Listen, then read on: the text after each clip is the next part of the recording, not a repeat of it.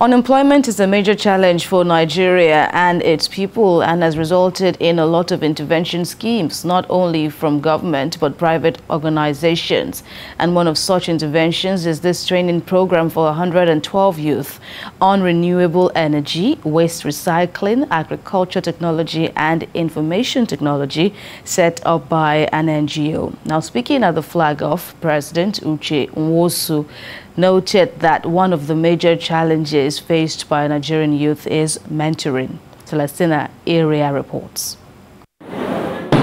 The unemployment rate in Nigeria at the second quarter of 2020 stood at 27.1%, indicating that about 21.7 million Nigerians remain unemployed.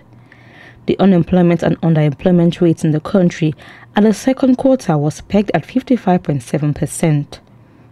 This was contained in a recently released unemployment data report published by the National Bureau of Statistics. Although the federal government has set up schemes and programs to bridge the divide, such as N-Power, Trader Money, and MarketMoni, not much has been achieved. Private organizations have also joined in making interventions that will make the youth self sustaining. A non-governmental organization is collaborating with an international NGO as well as assisting the federal government and has flagged up a training program for youths in different sectors of the economy. 112 Nigerian youths already growing startups in different sectors of the economy, including renewable energy, waste recycling, agricultural technology, information technology, health technology, have been selected to benefit from the $250,000 Ugumba Startup Development Program.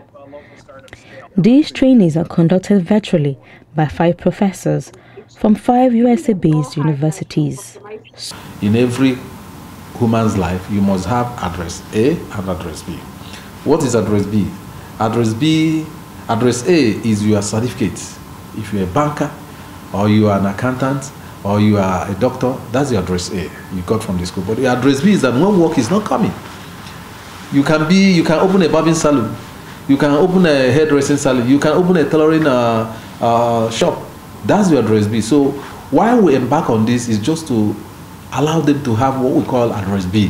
From the previous years, 2018, 2019, 2020, the one you saw last year, all of them, we, we, we, we made it open for them to apply, the, the ones that are interested in the, the status program. So all of them applied and we made selections and then that's how we got the 100. Uh, it was initially for 100 people, uh, but because so more, we got more applications, 118. So after the screening, we now uh, put it down to 112. Initiatives like this will help President Muhammadu Buhari fulfill his promise to lift 100 million Nigerians out of poverty in the year 2030.